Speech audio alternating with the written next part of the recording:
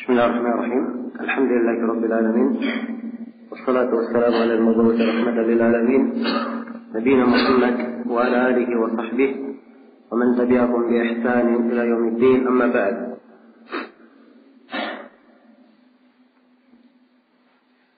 Ini majelis yang ke-8 dari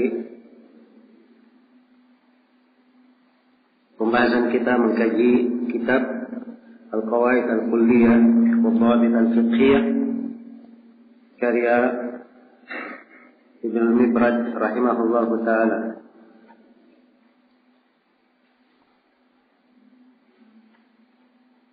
Kita telah memasuki kaidah yang ke-31. Baik, kita sudah menyelesaikannya kaidah yang ke-31 pada pertemuan ini kita akan membahas mulai dari kaidah yang ke-32. Berkata penulis rahimahullah taala wa salatun Kaidah yang ke-32 Ini tentang syarat kewajiban haji. Kata beliau, syurutu wujubil haji khamsun. Khamsatun. Syurutu wujubil haji khamsatun. Syarat-syarat kewajiban haji ada lima.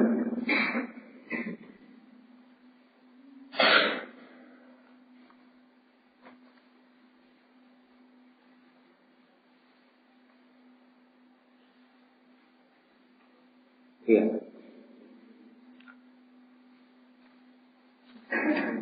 Yang pertama kata beliau Al-Islam Syarat keislaman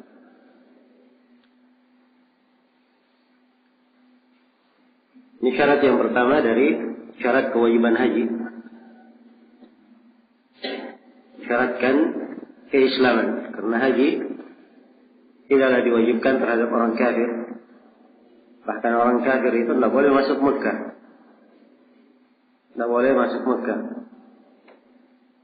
Iya, orang yang kafir yang paling pertama dia diperintah untuk masuk Islam. Setelah masuk Islam diperintah untuk melakukan kewajiban-kewajiban di dalam Islam. dan tidak diterima dari mereka ibadah sepanjang mereka masih kafir. Wa ma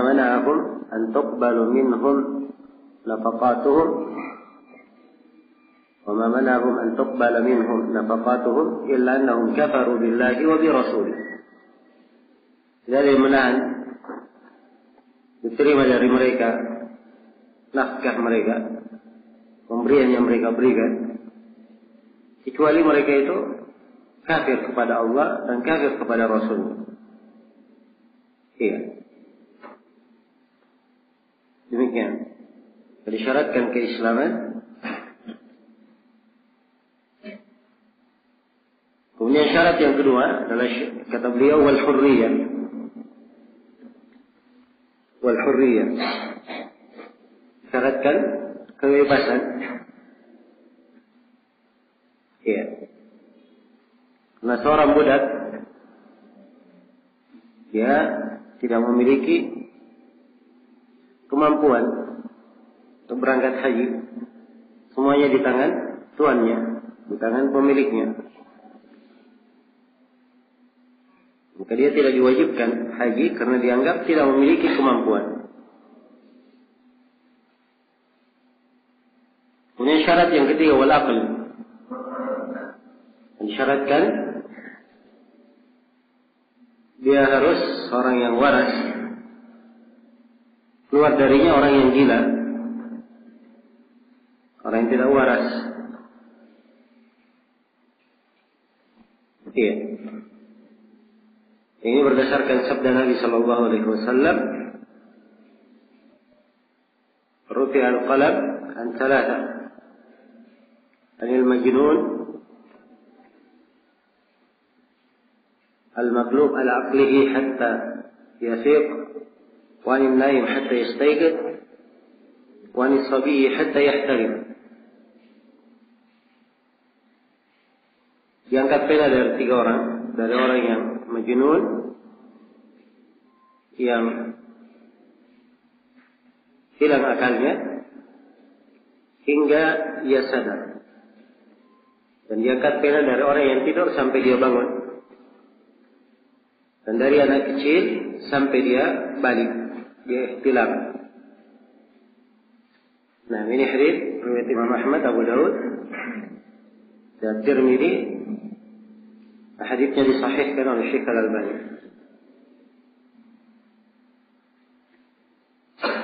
Iya. Kemudian syarat yang keempat kata beliau wal bulu. Garis balik. Berdasarkan hadis yang telah saya bacakan tadi. Adapun kalau dia belum balik, belum wajib untuknya haji. Namun kalau anak kecil dihajikan, hajinya syah. Dan dia mendapat pahala haji. Mendapat pahala haji. Dan ini berdasarkan hadis Jabir dalam riwayat Muslim أن امرأة رفعت صبيا لها إلى رسول الله صلى الله عليه وسلم فقالت لهذا حج قال نعم ولك أجر seorang perempuan mengangkat bayinya kepada Rasulullah SAW. Ia bertanya, apakah anak bayi ini ada haji baginya? Kata beliau, iya, dan kamu dapat pahala. Iya. Jadi anak kecil boleh dibawa haji. Hajinya syah, walaupun belum wajib. Dan kalau dia ikutkan haji, itu belum mengangkat kewajiban haji Islamnya. Dia dapat pahala tapi tidak mengangkat kewajiban haji Islamnya. Iya.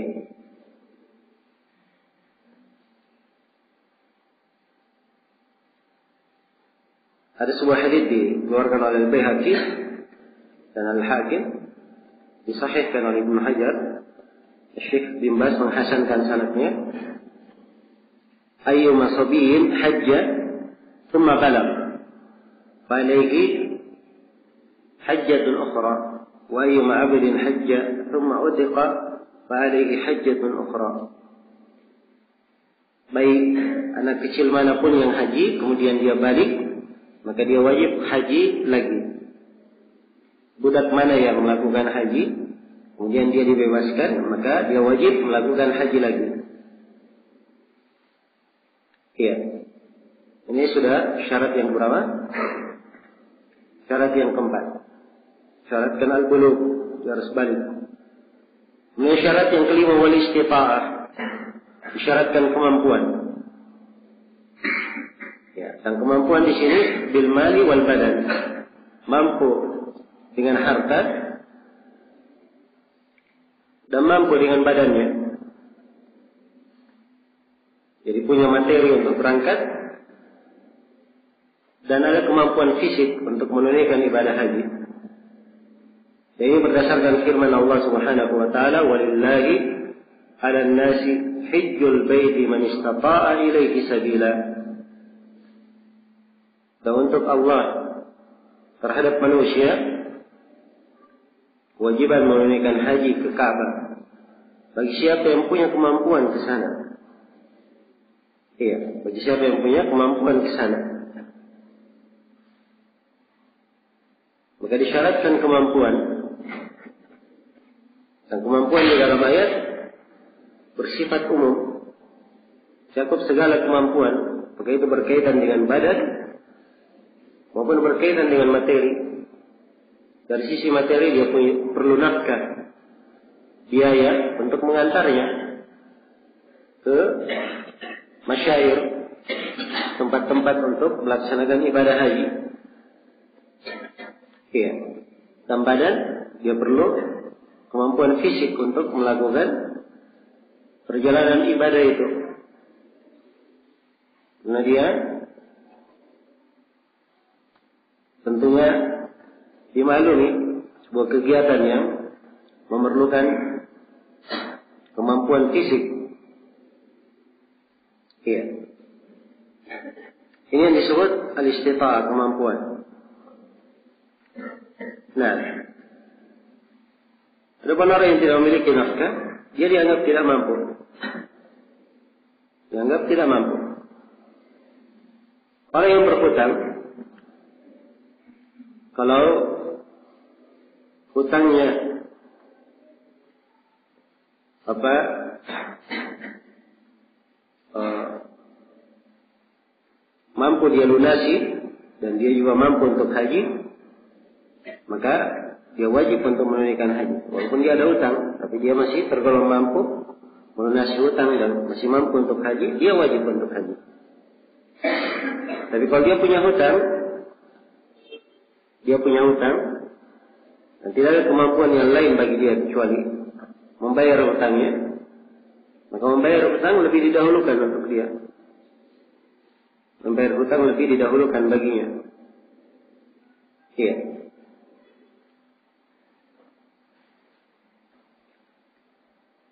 Ada pun orang yang diberi biaya oleh orang lain untuk menunaikan ibadah haji, ya tidak apa-apa dia menunaikan ibadah haji.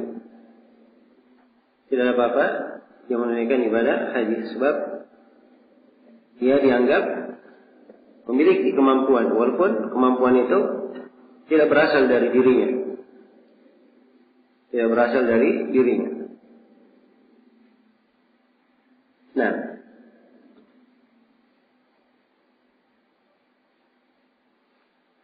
Dan di dalam masalah kemampuan ini bercabang banyak pembahasan lain. Kalau dia tidak mampu, boleh dia wakilkan kepada orang lain untuk menghajikannya. Boleh dia wakilkan. Kemudian di syarat yang kelima ini penulis menyebutkan syarat yang keenam.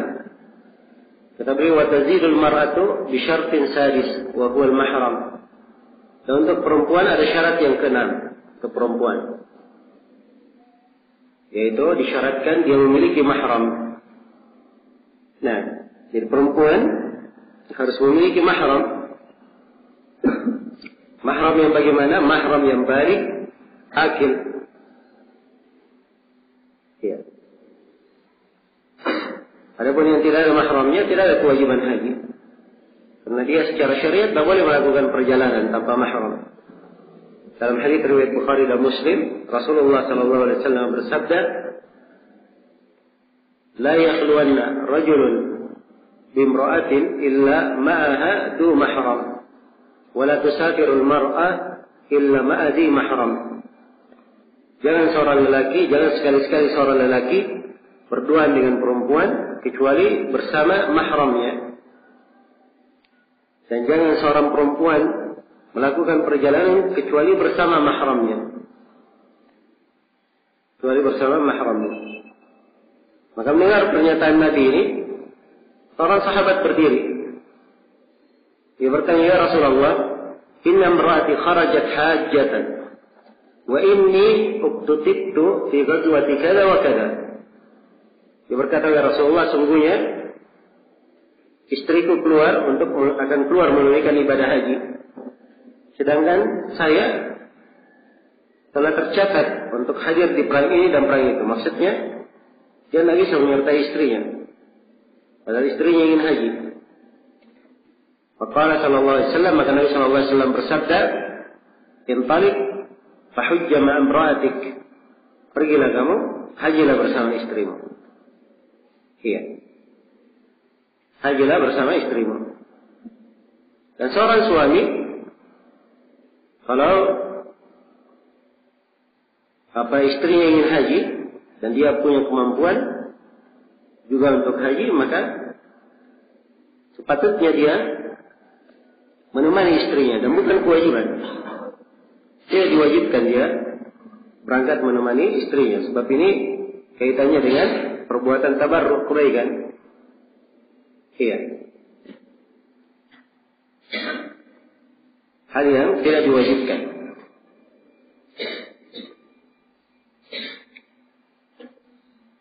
Baik. Jadi kalau apa dia ingin berangkat bersama istrinya, dia berangkat. Dan itu yang paling akmal baginya tentunya, paling utama. Ya. Sebab istri boleh mahramnya suami, boleh mahramnya anaknya, boleh saudara laki-lakinya, boleh ayahnya, dan seterusnya dari mahramnya yang laki-laki yang telah balik. Nah, tapi yang kata seorang perempuan keluar menunaikan ibadah haji tanpa mahram, maka hukum hajinya syah. Namun dia berdosa karena safar tanpa apa? Safar tanpa mahram.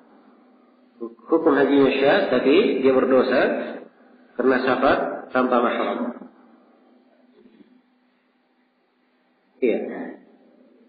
Orang yang haji tidak disyaratkan dia harus izin kepada orang tua. Disyaratkan. Sebab ini ibadat kepada Allah. Kalau orang tua melarang,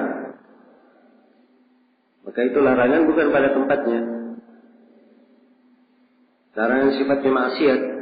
Anda boleh taat kepada makhluk dalam maksiat. Demikian pula kalau misalnya istri ingin haji ditemani oleh mahram lainnya dan suaminya tidak mengizinkan, dan harus dia taat kepada suaminya. Boleh dia keluar haji bersama mahramnya. Iya.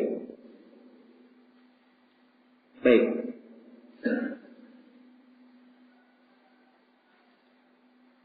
Selesai sudah kaidah yang ke 32 tentang syarat-syarat kewajiban haji.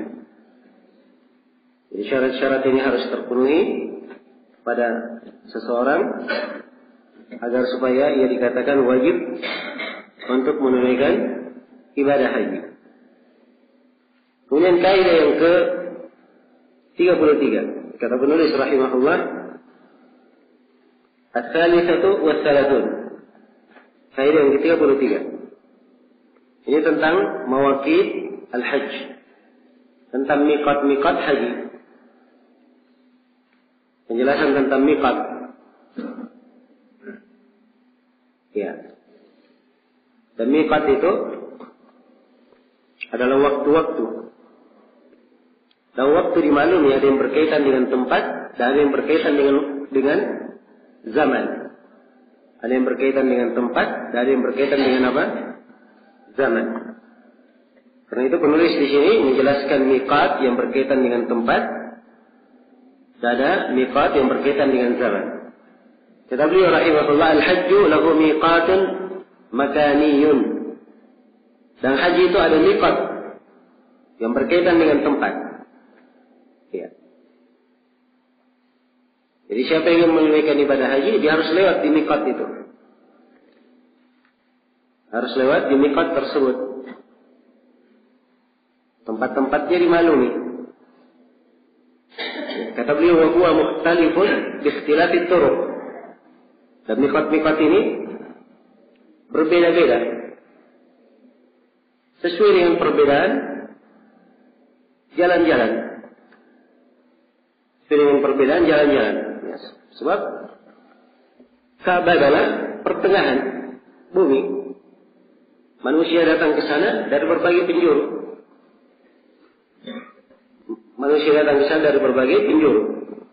Dan Nabi Wasallam telah menentukan mikat-mikat yang mencakup seluruh penjuru itu. Diterangkan dalam hadis Ibnu Abbas diriwayatkan oleh Imam Al-Bukhari dan Imam Muslim kata beliau waqata Rasulullah sallallahu alaihi wasallam li ahli al-Madinati dal Hulaifah Nabi sallallahu alaihi wasallam menjadikan miqat bagi penduduk Madinah Dul Hulaifah ini Dul Hulaifah di sekarang disebut dengan nama Bir Ali atau Abar Ali. Dzulkulaifah ini mikot yang paling jauh dari Mekah. Mikot yang paling jauh dari Mekah. Ini Dzulkulaifah ini untuk penduduk Madinah. Dan siapa yang berada di sekitarnya dan siapa yang di belakang kota Madinah. Yang melewati Madinah Likotnya adalah apa? Dul Iya. Kemudian kata beliau wali ahli Syami al-Juhfa. Dan bagi penduduk negeri Syam, Nikotnya adalah Al-Juhfa. Ya, penduduk negeri Syam, nikotnya di Juhfa. Dan ini masuk orang-orang di wilayah Syam dan siapa yang berada di belakangnya yang datang dari arah laut dari Mesir maupun yang semisal dengannya, mereka mikotnya di mana? Di Juhfa. Ini mikot yang kedua ya. Mikot yang ketiga wali ahli Najd, wali ahli Najd qarnal manazil. Dan bagi penduduk Najd mereka punya mikot qarnal manazil. Iya. Ini mikat yang paling dekat dari Mekah. Sebab dia di wilayah Taif, dekat Taif. Ya. Mikat yang paling dekat. Ini Kornel Manazir, orang yang berada di Taif dan siapa yang berada di belakangnya. Dari penduduk Najd, Riyadh, ya. Eh, Dammam dan seterusnya yang lewat ke sini lewat di Karnul Manazil. Ya maka mikatnya ini Karnul Manazil. Kemudian wali ahli Yaman Yalamlam. Dan bagi penduduk Yaman mikatnya adalah Yalamlam. Ya, siapa yang berasal dari Yaman? Yang berada di sekitarnya? Seperti orang-orang Jizan, Samita dan seterusnya maka mikotnya lewat Yalamlam. Dan kita Indonesia juga kalau kita datang ke Mekah, Indonesia itu arah mikotnya melalui apa? Yalamlam. Ya, Yalamlam ini mikot kita juga. Karena kita melewati Yalamlam. Ini empat mikot ya dalam hadis Ibnu Abbas di sini. Dan ada di hadis Jabir, ya, disebutkan bahwa wa mahillu ahli Iraq min irq dan tempat ihlal yaitu miqat penduduk Irak dari datu irq. Disebut dengan nama datu irq. Jadi ini miqat yang kelima. Di semuanya ada lima miqat.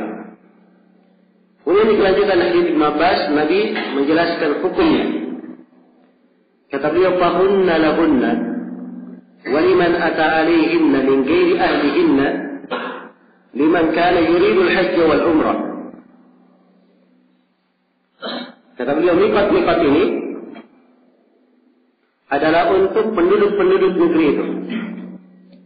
Zulhulaifah untuk penduduk Medina, Juhfa untuk penduduk Syam, Qarnul Manazil untuk penduduk Najd, Yalamlam untuk penduduk Yaman, Datu Irq untuk penduduk Irak, untuk penduduk negeri itu dan juga untuk siapa yang mendatangi mikot-mikot itu dari selain penduduknya.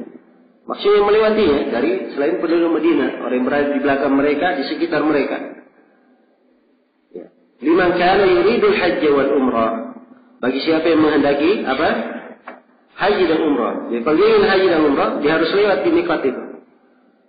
Kalau dia misalnya ingin ke Mekah bukan untuk haji, bukan untuk umrah, dia ada keluarga di Mekah yang dia kunjungi, ya, atau ke Mekah hanya ingin berdagang saja, atau dia ke Mekah ada tugas yang harus dilaksanakan, dia tidak, tidak ingin hanya tidak ingin umrah. Maka ini tidak harus dia lewat di Mekah. Jelas ya? Tidak harus dia lewat di Mekah. Baik. Kemudian kata Nabi, "Faman kana dunahunna famahilluhu min ahlihi." Siapa yang tempat tinggalnya ya setelah nikah atau di bawah nikah maka tempat dia mulai melakukan ihram adalah dari keluarganya dari tempat dia tinggal dari tempat dia tinggal nah Contoh misalnya, ya, kota Medina tentunya mikot yang paling jauh ya, 400 kilo. Yang paling jauh mikatnya. Dan sepanjang jalan ke Medina banyak kota yang dilalui, banyak kota yang dilalui. Ya. Ini sudah lewat dari Mikat, sudah lebih dekat ke Mekah. Jelas ya? Jadi kalau misalnya dia tinggal di Tan'im, ada orang yang tinggal di Tan'im. Tan'im bukan masuk di wilayah Mekah, dia di luar Mekah di, per, di perbatasan. Ya. Maka mikotnya dia tidak perlu ke lima mikot ini. Dia mikot dari rumahnya saja. Dia mikot dari rumahnya. Demikian pula penduduk Jeddah. Penduduk Jeddah. Ini di bawah mikot. Jelas ya? Maka tidak perlu mereka ke mikot. Langsung saja datang ke Mekah menunaikan haji. Demikian. Ini bagi orang yang tempatnya ya melewati mikat atau di bawah mikat maka dia tidak harus kembali ke mikat tapi dia melakukan ikhram dari mana dari tempatnya masing-masing baik ini disebut dengan mikat makani mikat tempat jadi siapa yang ingin haji dia harus lewati mikat itu dilewati mikat dari mikat itulah dia memakai pakaian ikhramnya Ya boleh dia pakai dari rumahnya. Nanti begitu lewat mikat, di situ dia memulai ihram hajinya. Masuk ke dalam manasiknya. Jadi harus lewat mikat. Dan juga tidak harus di mikatnya. Boleh sejajar dengan mikat. Karena yang dimaksudkan adalah bukan tempatnya. Dimaksudkan adalah apa? Batasan sejajarnya. Iya. Ini itu orang yang datang lewat udara, dia pakai dari atas pesawat dia sudah siap. Ya, dan begitu sudah mendekati mikot, dia membaca ihlal ihramnya dan niat masuk ke dalam nusuk. Melewati mikot. Jelas ya? Baik ini mikot yang berkaitan dengan tempat. Kemudian kata beliau wa zamaniyun. Ada mikot zamani berkaitan dengan zaman. Wa Syawal yang berkaitan dengan zaman yaitu Syawal wa Dzulqa'dah bulan Dzulqa'dah wa ashrun min Dzulhijjah dan 10 hari dari bulan Dzulhijjah. Iya. Jadi ini mikot zaman maksudnya waktu pelaksanaan haji. Jadi siapa yang ingin haji, dia mulai melakukan kegiatan hajinya di tiga bulan ini. Ya, bulan Syawal, Dzulqa'dah dan 10 dari Dzulhijjah. Ya, sebagian para ulama ada yang berpendapat Dzulhijjah bukan 10 hari saja, tapi semua Dzulhijjah. Itu masuk ke hitungan apa namanya? Haji semuanya. Baik. Ya, kalau misalnya dia mau haji, Dia haji tamattu misalnya. Haji tamattu ada umrah dan ada apa? Hajinya. Ya dia datang ke Mekah di bulan Syawal dia niatkan umrah haji. Kemudian dia menunggu, kalau dia niatkan umrah haji maka dia harus menunggu sampai apa? Masuk bulan haji. Ya. Maka dimulai di bulan Syawal. Kalau dia ingin masuk haji misalnya di bulan Ramadan, dia pergi umrah Ramadan. Oh sekalian saja saya tunggu haji. Jadi dia masuk Ramadan, kemudian dia niatkan umrah untuk haji juga. Ini boleh atau tidak? Hah? Jawabannya tidak boleh.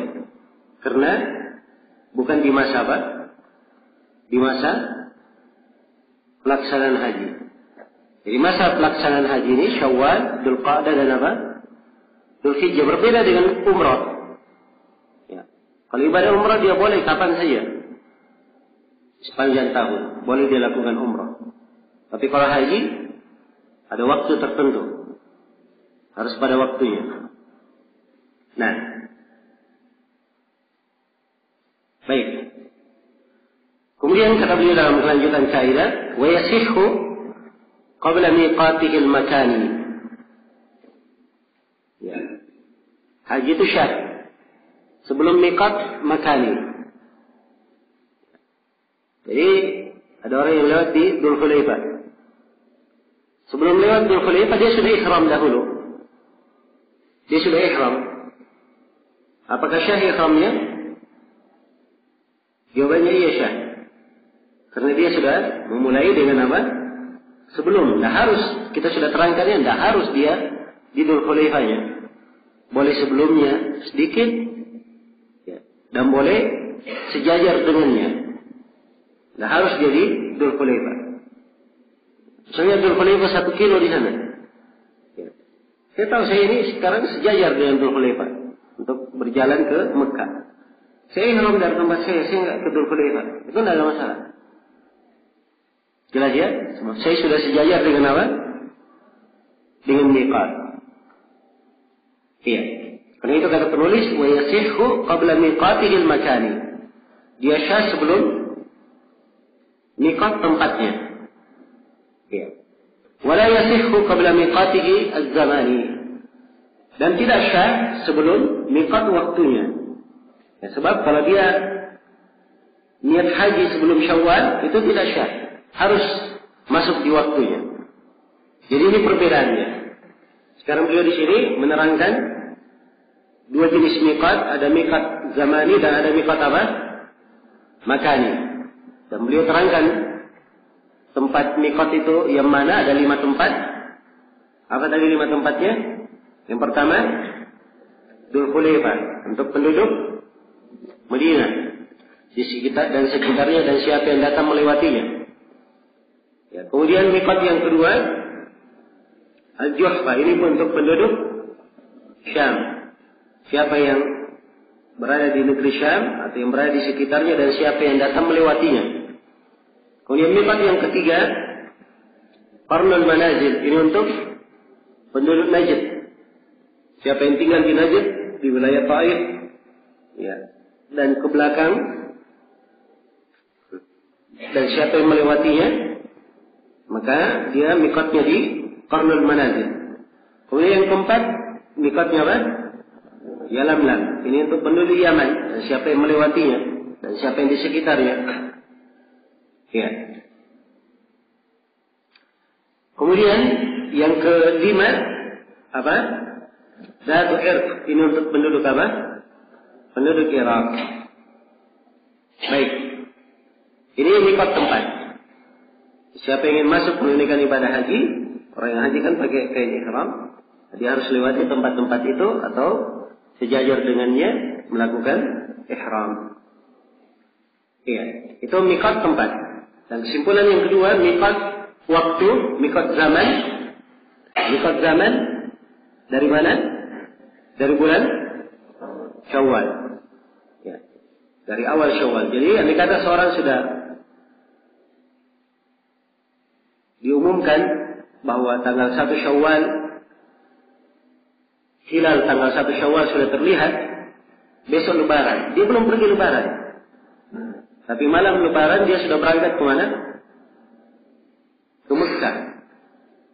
Ya, dia meniatkan umrah untuk haji. Syah atau tidak? Hah? jawabannya syah. Karena dia sudah masuk apa? Bulan Syawal. Sudah tanggal 1 Syawal. Ya Baik. Jadi untuk mikat berkaitan dengan zaman bulan Syawal, Dzulqa'dah dan 10 pertama dari Dzulhijjah.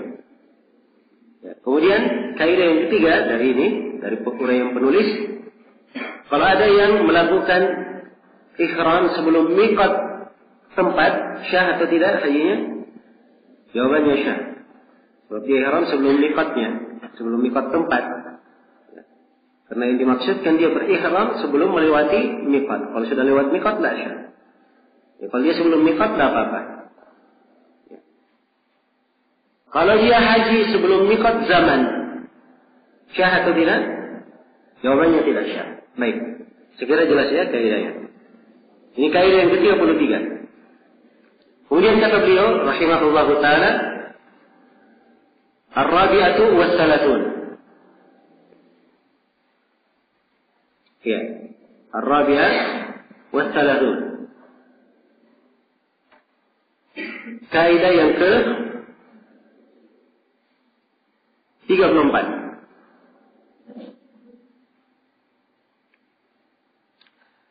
Kaidah 34 ini berkaitan dengan pelanggaran-pelanggaran yang tidak boleh dilakukan. Larangan-larangan yang tidak boleh dilanggar. Larangan-larangan yang tidak boleh dilanggar pada saat melakukan ihram. Pada saat seorang itu melakukan ihram. Ya, ihram itu adalah seorang berniat masuk ke dalam nusuk. Masuk ke dalam manasik haji maupun manasik umrah. Iya, dia sudah memakai kain ihramnya. Sudah dia tanggalkan seluruh kain yang disambung dengan jahitan pakai bagian ihram. Kemudian dia berniat untuk masuk ke dalam manasik haji atau umrah. Ya. Dan dia telah membaca labbaik Allahumma umrah kalau untuk umrah. Kalau haji dia membaca labbaik Allahumma hajjan kalau hajinya ifrad. Dia membaca Allahumma labbaik Allahumma hajjan wa umrah kalau hajinya tamattu dan apa? Kiran. Iya. Kalau dia baca labbaik Allahumma umrah saja dulu untuk haji tamattu. Nanti talbiyah hajinya di kala dia mau berangkat ke Mina. Jelas ya? Jadi itu namakan ihram. Sekarang kalau orang sudah masuk di ihramnya, ada larangan-larangan tak boleh dia langgar. Ini kaidah akan diterangkan oleh penulis di sini. Kata beliau mahduratul ihram al-mumtana fi'luha bitalaffuz bil ihrami tis'atun. Ada larangan-larangan dalam ihram yang tidak boleh dilakukan saat seorang sedang talabus, sedang dalam kondisi melakukan ihram. Jadi kondisi seorang sudah melakukan ihram, tidak boleh pelanggaran ini dilanggar. Ada sembilan pelanggaran, tidak boleh dilanggar. Ada sembilan, afwan ada sembilan larangan, tidak boleh dilakukan. Yang pertama kata beliau halkus sya'ab. Tidak boleh mencukur rambut. Iya. Kata halq di sini itu halq artinya apa? Menggundul ya. Sebab halq itu menggundul. Karena itu bahasa penulis di sini apa? Kurang detail. Ya. Yang dimaksudkan, yang dilarang bukan sekadar menggundul. Jadi kalau dia pangkas rambutnya boleh atau tidak? Hah? Ya. Kalau bahasa yang digunakan oleh penulis boleh saja. Sebab yang dilarang apa? Menggundul.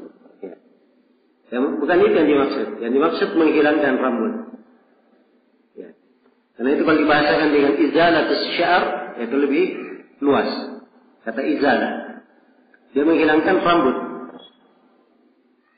Ya, dan rambut yang dimaksud bukan hanya rambut kepala. Semua rambut yang ada di badan. Semua rambut yang ada apa? Di badan. Iya. Apakah di kepalanya, di ketiaknya, ya, di kakinya, di tangannya, atau rambut kemaluannya, dan semisal dengan itu, semuanya tidak boleh. Termasuk rambut jenggot. Jelas ya? Baik. Menghilangkan rambut. Ini tidak diperbolehkan dalam ihram berdasarkan firman Allah Subhanahu wa taala, "Wala tahliku ru'usakum hatta yablughal hadi mahillah. Dan jangan kalian mencukur kepala-kepala kalian sampai haji itu sampai ke tempatnya. Sampai haji sampai ke tempatnya. Ya maksudnya sampai kalian tahallul dari ihram. Ya. Sampai haji tempatnya atau di waktu yang memang sudah diizinkan untuk mencukur rambut. Nah,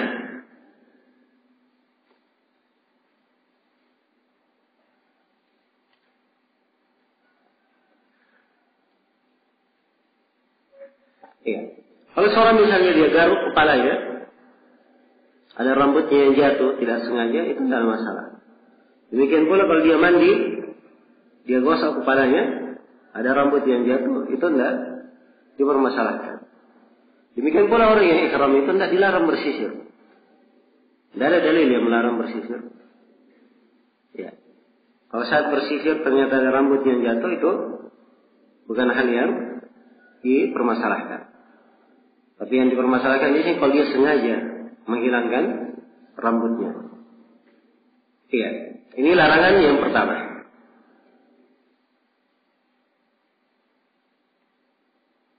Baik. Ini larangan yang pertama ya. Larangan yang kedua yang tidak boleh dilakukan pada saat ihram kata penulis wa taqlimul atfar. Wa al-atfar. Menggunting kuku. Dan kuku di sini kuku yang ada di tangan ataupun kuku yang berada di kaki. Iya.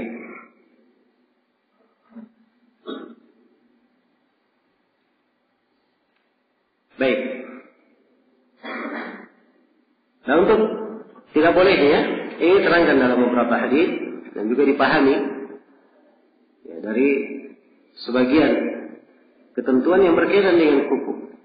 Seperti Ibnu Abbas radhiyallahu taala anhu berkata, "Idan kasara dhahruhu tarasahu." Kalau kukunya patah, maka tidak apa-apa dia buang. Ya, ini menunjukkan bahwa kuku ini asalnya tidak boleh dibuang. Tapi kalau dia patah, tidak apa-apa untuk apa? Dibuang karena mengganggu. Iya. Jelas ya? Baik ini larangan yang kedua. Kemudian larangan yang ketiga. Ya, dan memotong kuku ini tidak boleh dengan apa pun ya. Apakah dengan gunting kuku atau dia dengan dia gigit kukunya sampai apa namanya e, terpotong ya, dengan cara apa pun tidak diperbolehkan ya, kecuali kalau misalnya tanpa sengaja patah kukunya ya, kukunya sudah hampir lepas dan kalau dia tidak lepaskan akan mengganggunya boleh dia hilangkan. Sebab ini sudah apa? Sudah masuk dalam bentuk gangguan. Ya. Nah asalnya sudah patah, bukan karena kehendaknya.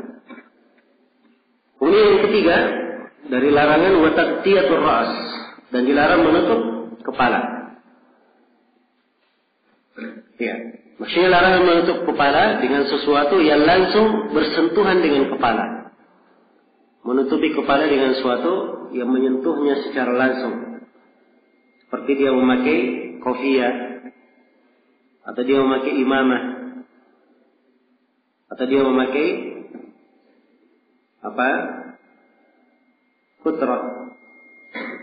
Ya memakai kutrah ya antara imam kalau imam itu dililit di atas kepala dililit di atas kepala ya kalau imamnya hanya diletakkan di atas kepala saja seperti kebiasaan kebanyakan orang-orang di Timur Tengah sekarang itu disebut putra disebut kutrah Jelas ya? Walau ada yang semisal dengannya. Ya, dia pakai topi misalnya pakai apa? Tidak diperbolehkan. Tidak diperbolehkan. Demikian pula wajah seseorang, wajah tidak boleh ditutup wajahnya.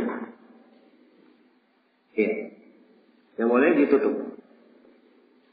Dan ini berdasarkan hadis Ibn Abbas riwayat Bukhari dan Muslim tentang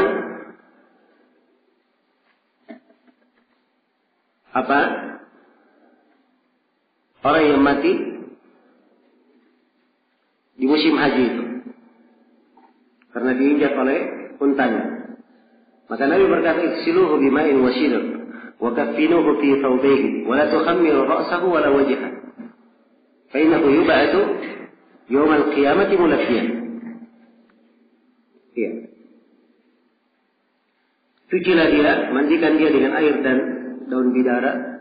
Safani dia dengan dua pakaian ihramnya. Jadi ini dari khususan orang yang meninggal saat ihramnya. Dia tidak dibelikan kain kafan. Tapi yang menjadi kain kafannya adalah kain ihramnya. Iya.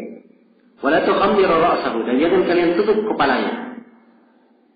Wala wajah dan jangan tutup wajahnya. Karena dia akan dibangkitkan pada hari kiamat dalam keadaan bertalbiyah. Ini menunjukkan bahwa sifat orang yang bertalbiyah ihram tidak boleh menutup kepala. Tidak boleh menutup wajah. Tapi khusus untuk wajah, ya, ada apa silam pendapat di kalangan para ulama maka sama sekali tidak boleh ditutup atau boleh ditutup kalau ada keperluan. Ya, sebab syah dari Utsman Ibn Affan radhiyallahu taala anhu beliau itu menutupi wajahnya dan beliau dalam keadaan apa? Ihram. Ya, dan beliau dalam keadaan ihram. Nah, Ibn Syekh bin Bas rahimahullah, dan ini pendapat dibuatkan oleh Syekh Al-Bani, boleh kalau ada keperluan dia menutup wajah. Kalau Syekh Al Albani, eh, kalau Syekh bin Bas rahimahullah, beliau berpendapat tidak boleh menutup wajah. Dasarkan hadis itu. Nah, dan tentunya pendapat yang mengatakan tidak boleh menutup wajah sama sekali, ini lebih hati-hati untuk dipegang. Ya, karena itu dari kebiasaan orang-orang yang melakukan haji yang kadang memakai masker dan semisal dengannya, ini dari hal yang hendaknya ditinggalkan. Tapi kalau dia lakukan karena hajat, ya Syekh Al-Bani memandang hal itu adalah hal yang boleh saja. Baik. Jadi menutup kepala itu dilarang kalau dia bersambung langsung. Ataupun kalau dia tidak bersambung langsung, seperti dia pakai payung, ya. atau di bawah kema, atau dia apa di bawah mobil, ya, di dalam mobil, itu tidak ada masalah. Sebab ini bukan menutup kepala namanya. Kira-kira. Dan Nabi Shallallahu Alaihi Wasallam di Namirah di hari Arafah beliau di Namirah beliau menunggu di Kuba, menunggu di kemah. Ya, menunggu di kemah. Nah, dan di hari Aqabah di, di hari Id di tanggal 10 Rasulullah Alaihi Wasallam dituduhi ya, dituduhi oleh para sahabat. Ya, ini menunjukkan bahwa kalau ya, penghalang kepala itu tidak menyentuh langsung, itu tidak dipermasalahkan. Yang dipermasalahkan kalau dia menyentuh langsung. Dan demikian pula orang yang haji boleh dia bawa barangnya, boleh dia tenteng. Dia tenteng. Kalau menyentuh sebagian kepalanya tidak apa-apa, karena dia tidak memaksudkan menutup kepala. Dia hanya ingin membawa apa? bawa barangnya. Nah,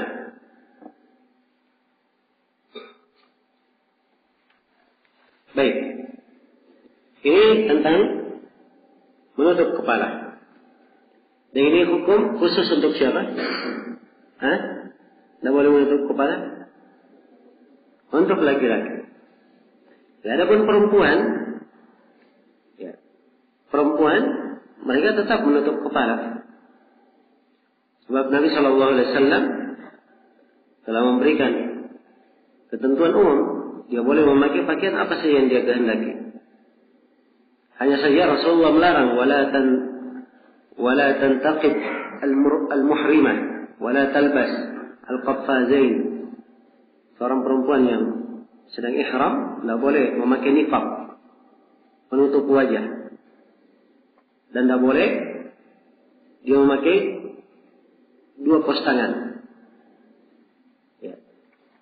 Sebagai dua kos tangan. Dan ini di antara dalil yang dipakai oleh para ulama tentang wajibnya menutup mata dan kedua telapak tangan. Wajibnya menutup muka dan kedua telapak tangan. Dan itu adalah aurat bagi perempuan. Hanya saja di ikhram, tidak boleh ditutup. Ya. Dan nikab yang dikatakan nikab di sini itu adalah apa? Kain yang langsung bersambung dengan bajunya, menutupi mukanya. Ya. Apakah dia dari atas atau dari samping, atau yang semisal dengannya. Jelas ya? Adapun kalau misalnya pada saat dia ikhram ada laki-laki, maka boleh dia tutup mukanya, tapi dia tutup dengan kainnya. Ya. Dia tutup dengan kain jilbabnya. Ya, karena itu yang memudahkan yang dipakai bagi perempuan dia memakai kain yang dililit di kepalanya. Jadi disebut tarha ya. Kalau kita di sini ya jilbab yang panjang tapi sifatnya dililit. Ya, sisa dari lilitannya itu sewaktu-waktu bisa dipakai untuk apa? Menutupi muka. Ya, kalau misalnya ada laki-laki yang bukan mahramnya, dia boleh menutupi mukanya. Ya, begitu sudah tidak ada lagi yang bukan mahramnya dia buka. Jelas ya? Dia membukanya. Nah, karena Asma bintu Abi Bakar radhiyallahu taala beliau berkata kunna nughatti wujuhana min ar-rijal. Sungguhnya kami menutup wajah-wajah kami dari laki-laki. Ini pada saat ihram. Iya. Jadi kalau ada laki-laki dia tutup wajahnya. Baik.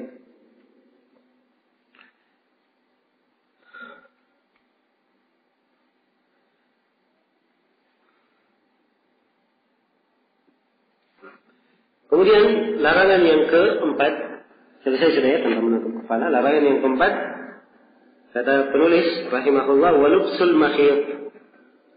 Dan dilarang memakai kain yang disambung dengan jahitan.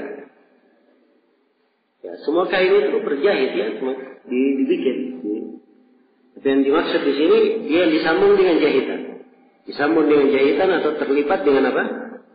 Jahitan itu yang dilarang. Nah, karena itu kain ihram itu kayak sarung ya. Cuma sarung itu kan sudah disambung. Ya, itu sarung. Jadi kain ihram tidak, dia terlepas. Nanti sisa dia apa? Digabungkan. Yang dipakai untuk ihram. Iya. Masuk di dalam kain yang disambung dengan jahitan, dia memakai baju, atau memakai celana, ya, atau dia memakai jaket, memakai sepatu, memakai kos kaki, ini semua jahitan. Memakai kos kaki juga jahitan, sebab dia terjahit, disambung dengan jahitan. Ya. Dan Nabi Shallallahu Alaihi Wasallam di dalam hadis Ibnu Umar yang diriwayatkan oleh Al Bukhari dan Muslim ditanya, "Mayal bas al muhrimu min Seorang yang muhrim itu memakai pakaian apa? Maka Rasulullah SAW menjawab, La yalbasil khamis. La yalbasil khamis. Jangan dia memakai khamir.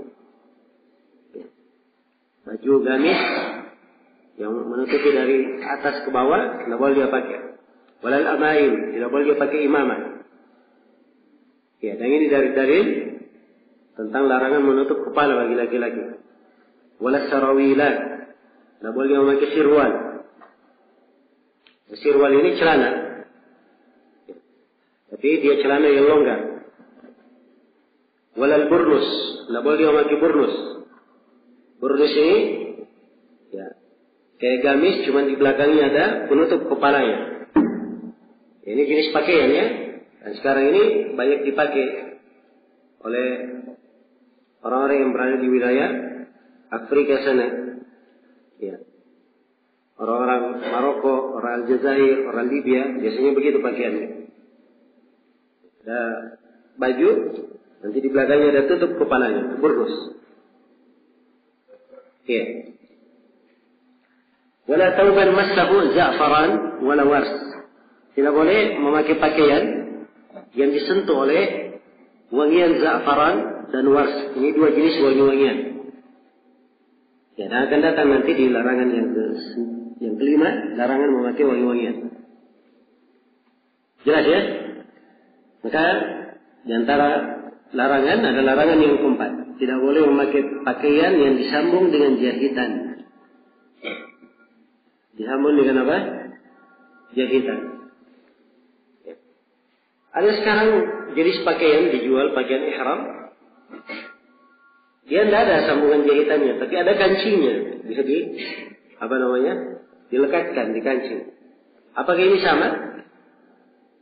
Ya jawabannya harusnya itu dia tinggalkan. Harusnya dia tinggalkan. Karena ada kemiripan dengannya. Nah. Baik. Kalau misalnya seorang tidak mendapatkan kain ihram yang cocok, maka dia boleh mengambil apa namanya sirwalnya, tapi dia potong. Ya, dia lepaskan jahitannya supaya dia pakai nanti bersarung. Nah, jelas ya? Nah, sempurnanya kain ihram itu dua. Satu dipakai bersarung, dan satunya lagi apa namanya dipakai menutupi bagian atas. Ya, menutupi bagian atasnya. Ya, dan kain ihram itu tidak di apa namanya tidak dijulurkan begini, tapi dililitkan. Satu sudutnya di bawah dililitkan, satunya lagi dililitkan di atas punggung. Di atas apa? Di atas bahu. Iya. Baik ini tentang kain ihram. Tidak boleh disambung dengan jahitan. Dan ini hukum berlaku untuk siapa? Laki-laki atau perempuan juga? Ini untuk laki-laki saja. Ya. Kalau perempuan bebas perempuan. Bagiannya dia memakai apa saja. Jelas ya? Namun, setelah kita terangkan tadi, tidak boleh dia menutup wajahnya dan menutup tangannya. Kemudian eh, berikutnya, eh, baik perlu diingatkan di sini bahwa memakai jam tangan, memakai kacamata, ya, atau dia pasang apa namanya uh,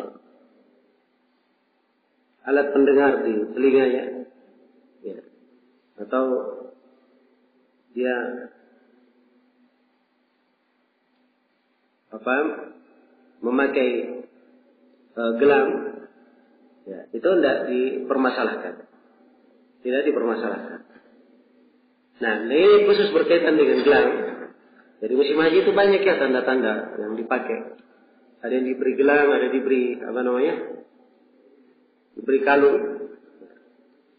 Dan ada yang diberi lingkaran di apa namanya? Di lengannya. Dan lingkarannya disimpan di lengannya. Ini biasanya saya lihat orang-orang India seperti itu. Nah, jelas ya? Ya kalau dia digelang di sini, ya ini apa namanya masuk ke dalam hukum memakai gelang. Ya, dan juga kalau digantungkan di sini itu ada hal tentunya dilarang menggantung jimat-jimat dan sebagainya ya. Walaupun itu bukan jimat-jimat, tetapi tasyabduh atau hal-hal yang mengantar ke sana, ya sebaiknya ditinggalkan. Sebaiknya ditinggalkan. Dan memang paling amannya kalau dia berada di sini atau di kantong ya. Yang di apa namanya diikat di mana? ditempel di kantong. Ya. Baik, tapi tentunya seorang ketika ikhram tidak ada di kantongnya. Ya. ya dan sebagian uh, apa namanya jemaah haji, ya ada yang kayak ikhramnya sudah di ditulisi ya rombongannya. Ya, dan menulisinya itu tidak ada masalah insya Allah. Ya, karena dia bukan jahitan. Baik. Kemudian yang kelima, Larangan yang kelima waktu Maksudnya tidak boleh menggunakan wangi-wangian. Tidak boleh menggunakan wangi-wangian tidak pada badan, tidak pada pakaian, tidak pula pada yang lain yang bersambung dengan dirinya. Karena Nabi Wasallam berkata tentang orang yang meninggal di musim haji itu, wala tumissuhu gitu. Jangan kalian menyentuh dia dengan wangi-wangian. Ya, jadi kalau dia menyentuh wangian apa? Tidak diperbolehkan. Iya. Adapun kalau misalnya dia mencium bau wangi-wangian, ya mencium bau wangi-wangian tidak dilarang. Dia menciumnya. Jelas ya? Tapi yang dilarang adalah apa? Dia memakainya. Dia memakainya. Nah,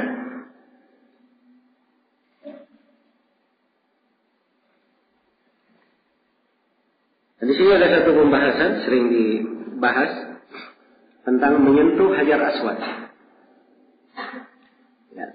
Hajar aswad itu asalnya tidak ada wangi-wangian di situ. Tapi kadang ada orang-orang jahil, dia tumpah wangi-wangian di hajar aswad. Jelas ya? Dia tumpah wangi-wangian di hajar aswad. Dia kata seorang misalnya dia masuk mencium hajar aswad, dia tidak tahu ada wangi-wangian, kena tangannya, maka ini jangan dia gosok di badannya atau di kainnya. Tapi dia gosok di mana? Ya dia gosok di uh, di kain Ka'bah atau dia pergi cuci. Jelas ya? Jangan dia gosok di lantai. So, kalau dia gosok di lantai nanti akan kena orang lalu lalang. Ya. Ini harus dia perhatikan. Ini wangi-wangian pelanggaran. Jadi jangan sampai kena orang lain dan jangan sampai dia melekat di mana di baju atau di jasadnya. Dia segera menghindarkannya.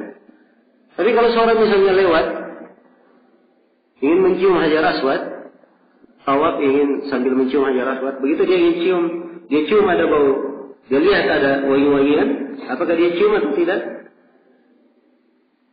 Iya. Yang benarnya dia tidak cium, tapi dia isyarat saja. Kenapa? Sebab pencium hajar aswad hukumnya sunnah dan tak boleh menyentuh wangi-wangian itu hukumnya haram di dalam ihram. Dan mendahulukan yang dilarang ya, menjauhi yang dilarang itu lebih didahulukan daripada melakukan yang sunnah. Jelas ya?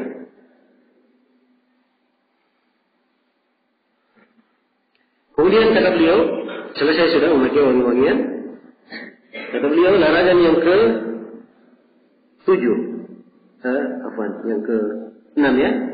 Wakat selesai dan tidak boleh membunuh hewan buruan. Ya. Apakah dia bunuh secara langsung dia sendiri yang membunuhnya atau dia menjadi sebab terbunuhnya? Atau dia membantu orang untuk membunuhnya? Dia bantu dengan dia kasih alat untuk membunuh atau dia tunjuk. Ya, ada orang yang sedang memburu hewan buruan di tanah haram. Ya. Apa? Bukan di tanah haram, ada orang sedang memburu. Hewan yang diburu itu lewat di depannya. Datang si memburu yang bertanya, ada nggak lewat hewan di sini? Tidak boleh dia jawab, oh, ada, dia lari ke sana. Kenapa membantu? Ya. Jelas ya? Dan ini tidak diperbolehkan. Tidak diperbolehkan bagi orang yang ihram. Nah, ini berdasarkan firman Allah Subhanahu wa taala wa hurrima alaikum faidul barri ma dumtum hurma. Dan diharamkan atas kalian hewan buruan darat sepanjang kalian itu masih ihram. Sepanjang kalian itu masih ihram. Ya. Ini tentang memburunya dilarang. Tapi kalau dia makan, ya masalah makannya apa itu lain lagi. Salah makannya. Baik.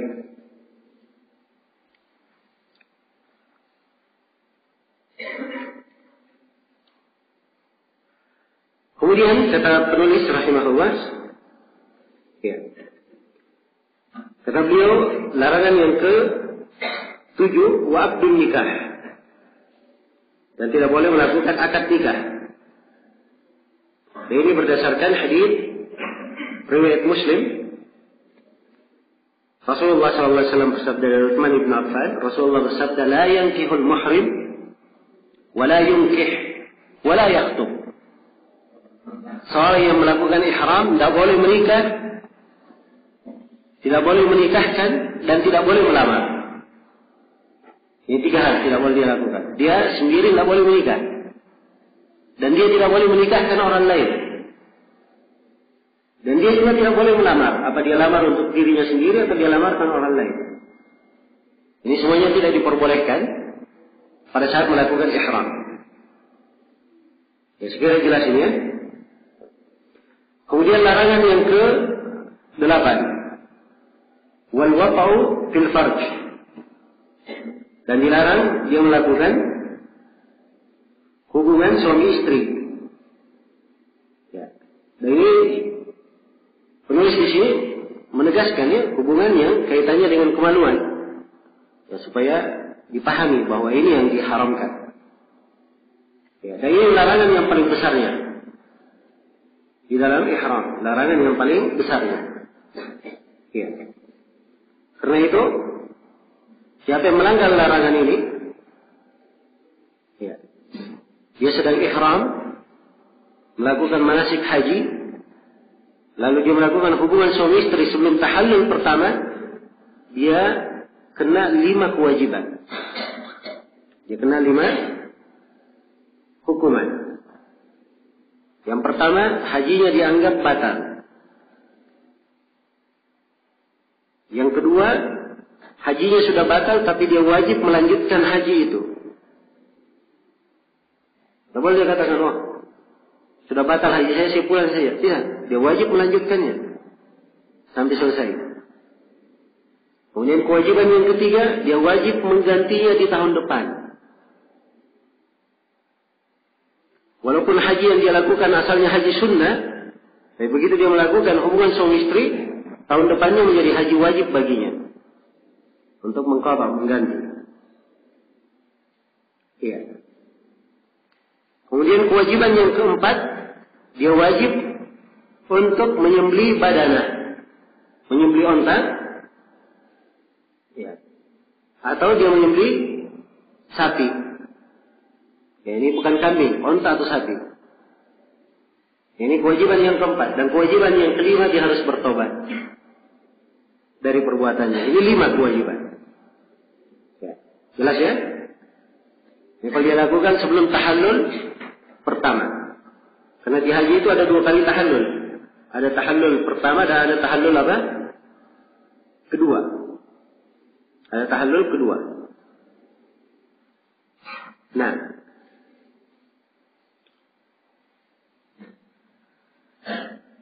Iya. Jadi kalau dia melanggar melakukan hubungan suami istri sebelum tahallul kedua,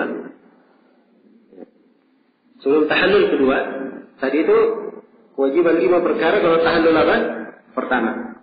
Tahallul pertama itu begini, di hari ke-10 ada empat amalan dilakukan oleh seorang yang haji. Yang pertama dia melempar jamrah, akabah. Yang kedua, dia cukup. Yang ketiga, dia apa? Tawaf ifadah.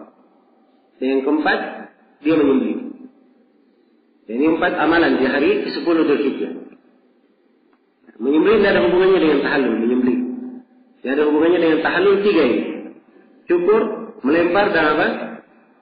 Tawaf ifadah. Ya. Kalau dia lakukan dua, dia sudah cukur, dia sudah dia sudah melempar jamrah. Ini namanya dia sudah tahallul pertama. Kalau dia sudah tahallul pertama, dia boleh pakaian biasa sudah. Semuanya pelanggaran ihram boleh, kecuali satu saja, tidak boleh hubungan suami istri. Jelas ya? Nah, kalau dia sudah tahallul pertama, nanti begitu selesai tawaf ifadah, ah, baru sudah lepas semuanya. Dia sudah tahallul kedua. Hubungan suami istri pun boleh. Jadi sekarang saya tadi membahas lima kewajiban kalau orang yang melakukan hubungan suami istri sebelum apa? Tahallul pertama. Ya. Jelas ya? Masih di tanggal 8 Dzulhijjah, dia sedang bagian ihram haji, ya. Kemudian dia melakukan hubungan suami istri. Ya, maka tadi yang saya katakan apa? Ada lima kewajiban dilakukan sebelum tahallul pertama. Tapi yang dikata seorang misalnya dia sudah melempar jamrah, dia sudah cukur, Berarti dia sudah tahallul pertama. Belum lagi dia tawaf, dia jatuh dalam pelanggaran, melakukan hubungan suami istri. Maka apa kewajibannya? Ya, kewajibannya yang pertama, ya, dia wajib untuk menyembelih kambing atau menyembelih dam disembelih di Mekah dan dibagikan kepada fakir miskin. Kewajiban yang pertama. Kemudian kewajiban yang kedua, dia wajib untuk keluar ke tanah haram, eh, keluar dari tanah haram. Dia harus cari tanah halal di sekitar Mekah. Jadi dia harus keluar dulu dari batasan Mekah. Dia ke Tan'im atau ke Jirana atau ke Arafah, tempat yang keluar dari mana? Tanah haram. Kemudian dia melakukan ihram baru melakukan ihram baru. Iya. Jelas ya? Baik ini hukuman untuk orang yang melakukan hubungan suami istri di musim haji. Sebelum tahallul pertama dan sebelum tahallul kedua. Kita bedakan hukumnya. Bagaimana kalau ada melakukan hubungan suami istri di pelaksanaan ibadah umrah saja? Karena umrah, ya tentunya ibadahnya lebih ringkas. Nah, adapun ibadah umrah kalau dia melakukan hubungan suami istri sebelum sa'i, ya, sebelum sa'i dia lakukan hubungan suami istri, maka umrahnya batal. Dan wajib dia pada umrah tersebut, kemudian dia wajib membayar dam. Dia wajib menyembelih. Iya. Jelas ya? Ini sudah pembahasan tentang melakukan hubungan suami istri.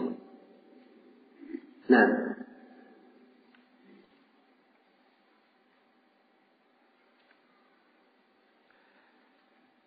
dan khusus untuk umroh kalau misalnya dia melakukan hubungan suami istri setelah sa'i sebelum mencukur,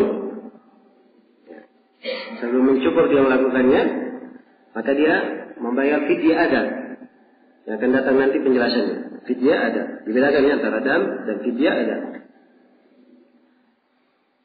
Baik. Sekarang selesai sudah dari berhubungan intim. Kemudian kesembilan wal mubasyaratu fi madunahu. Ya. Dan larangan adalah mubasyarah pada selainnya. Dia apa? Sifatnya hubungan suami istri tapi bukan jima. Mencium, memeluk, memegang. Ya. Ini tidak diperbolehkan karena dalam Al-Quran dikatakan ya, "Faman farada fihinna al-hajj fala rafata wala fusuqa." Tidak ada rafat dan rafat itu artinya pendahuluan-pendahuluan jima. Ya. Jadi dua yang dilarang, rafatnya, ini larangan yang kesembilan, yang lebih dilarangnya lagi adalah apa? Jimanya, hubungan suami istri. Nah, ini semuanya sembilan pelanggaran ihram. Sembilan pelanggaran ihram tidak boleh dilanggar. Iya.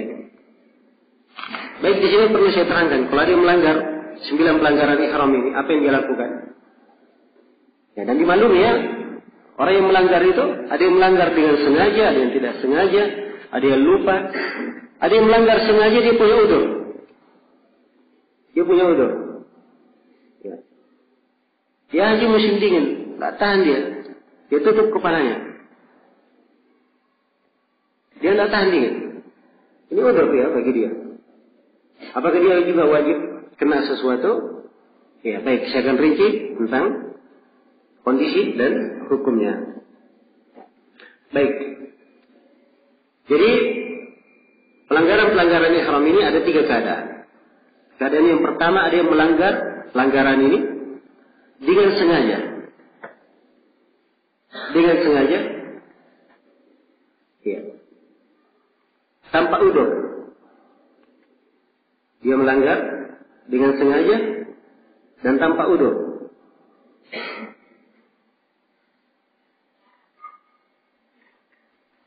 Ya, tanpa udur dan tanpa ada keperluan.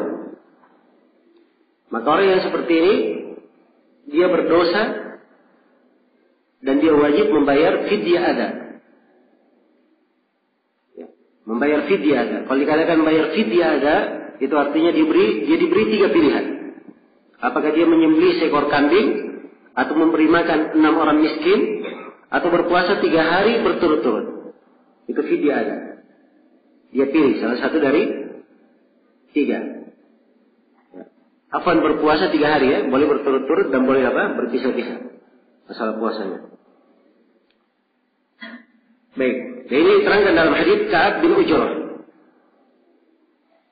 Diterangkan dalam hadis Ka'ab bin Ujrah. Keadaan yang kedua, dia melanggar dengan sengaja, tapi karena keperluan. Karena keperluan. Maka orang yang seperti ini, dia tidak berdosa, tapi dia wajib membayar fidyah. Wajib membayar fidyah. Dan ini berdasarkan firman Allah, "Wala tahliku ru'usakum hatta yablugha al-hajju mahillah. Faman kana minkum maridan aw bihi adan min ra'sihi fafidyatun min siyamin aw sadaqatin aw nusuk." Ya. Janganlah kalian mencukur rambut-rambut kalian sampai haji sampai ke tempatnya. Maksudnya sampai ya waktu yang dibolehkan. Namun siapa di antara kalian yang sakit atau di kepalanya ada gangguan, maka dia boleh membayar fidyah dengan dia berpuasa atau dengan dia bersedekah atau dia dengan menyembelih. Nusuk artinya menyembelih. Ini ayat global ya. Dirinci di dalam hadis Ka'ab bin Ujrah. Ka'ab bin Ujrah itu dibawa kepada Nabi Shallallahu Alaihi Wasallam dalam keadaan kutu itu apa berjatuhan di apa di kepala beliau. Nah, ini luar biasa ya. Saking banyaknya kutu di kepalanya, berjatuhan sudah. Ya, di kepalanya. Nah, ini bisa dibayangkan ya bagaimana tersiksanya. Maka kata Nabi Shallallahu saya tidak melihat, saya tidak menyangka menimpa kamu seperti ini. Dan Nabi Wasallam mengizinkan Ka'ab bin Ujrah untuk menggundul kepalanya. Tapi beliau terangkan, dia memilih antara salah satu dari tiga, menyembelih seekor kambing, atau memberi makan orang, enam orang miskin, atau berpuasa tiga hari. Berpuasa tiga hari. Dan ini Ka'ab bin Ujrah, dia mencukur sengaja karena ada apa? Ada udur. Maka dia tidak berdosa, tapi harus membayar apa? Membayar fidyah. Ya demikian pula di musim haji. Pas masuk waktu dingin, dia nggak tahan. Ya. Dia pakai jaket, pakai kos kaki. Jelas ya? Maka ini boleh saja kalau dia memang khawatir tidak tahan untuk dingin. Ya. Tapi nanti dia bayar fidyah. Bayar fidyah. Dan yang ketiga, orang yang melakukan pelanggaran ihram, dia lupa. Atau dia jahil tentang hukumnya. Atau dia terpaksa. Atau dia dalam keadaan tidur. Ya.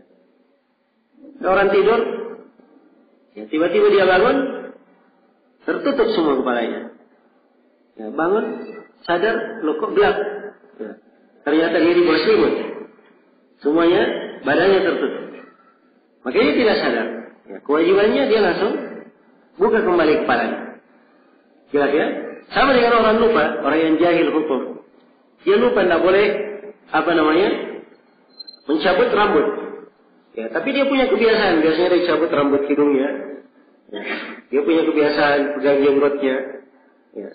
Dia nggak sadar sudah berapa yang jatuh dari jenggotnya. Jelas ya? Ini dia lupa. Ini tidak apa-apa, tidak ada kewajiban apa-apa. Demikian pula orang yang jahil. Orang yang tidak mengerti hukum. Dia tidak tahu itu tidak boleh.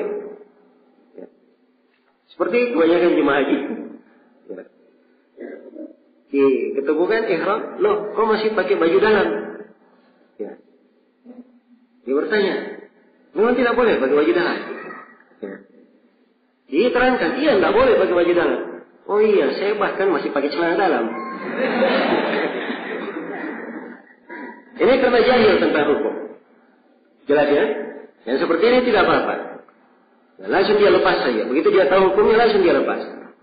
Langsung dia lepas. Jadi ini tiga keadaannya harus dibedakan.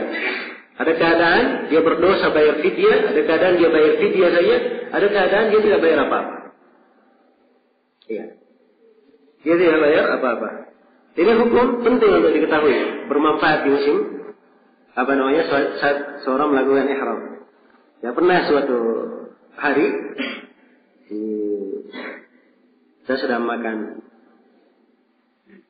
di apa namanya di ruang makan, maka ada jemaah umroh ya, dari travel lain cerita-cerita di bangkunya.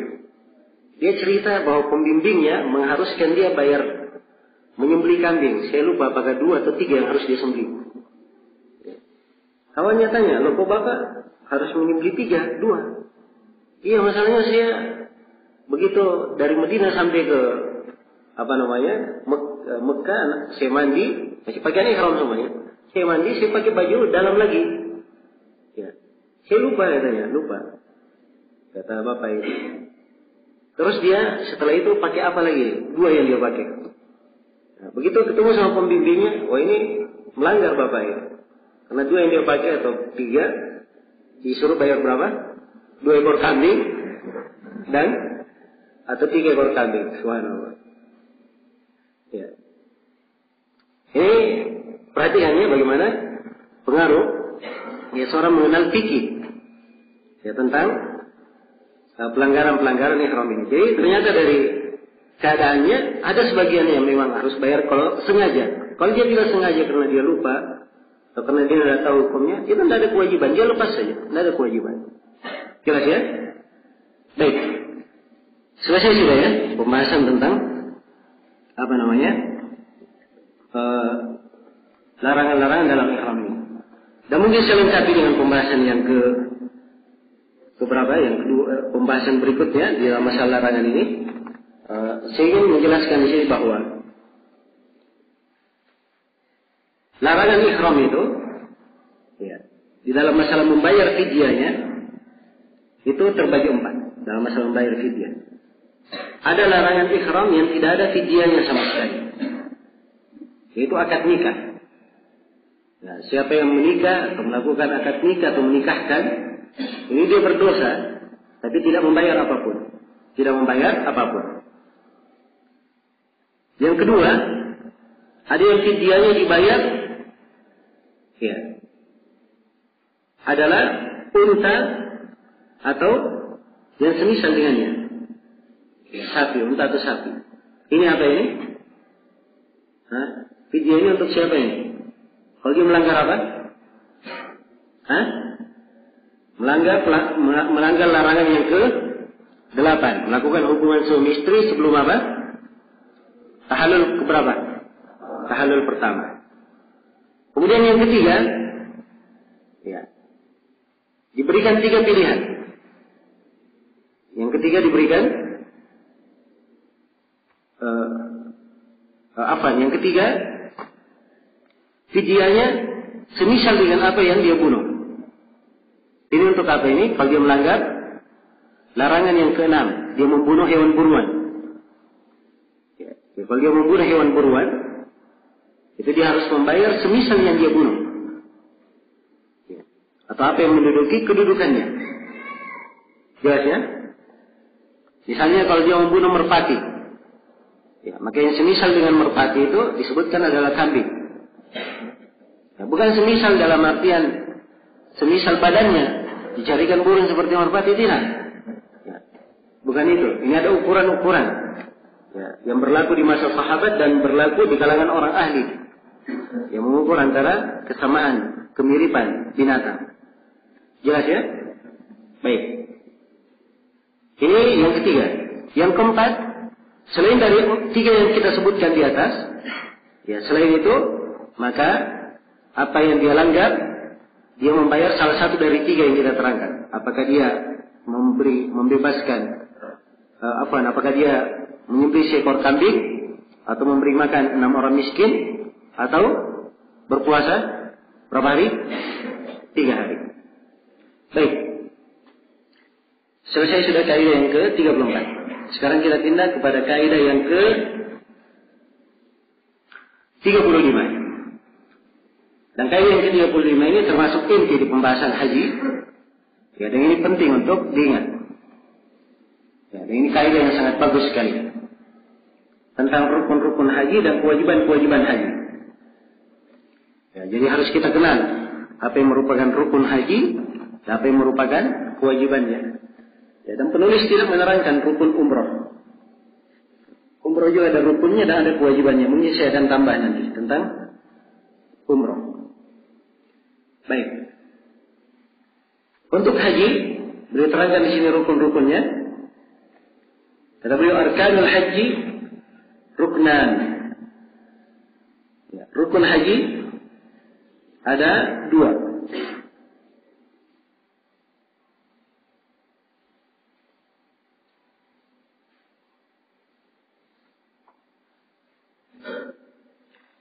Kata beliau arkanul haji ruknan. Rukun haji ada dua. Yang pertama, al-waqf. Ya. Ini ditulis ya. dan biasanya dikenal dengan kata wukuf. Itu wukuf di Arafah. Wukuf di Arafah.